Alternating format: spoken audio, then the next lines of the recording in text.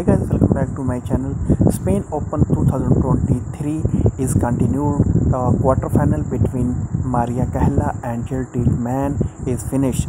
In this uh, quarterfinal, Maria did a great job and beat the uh, Teichmann in first set. Uh, Teichmann did well and beat 6-2 and after that uh, the Carle make a good effort and uh, beat uh, the Teichmann by 6 4 and the last and final set um, Jil Teichmann uh, lost uh, 2 6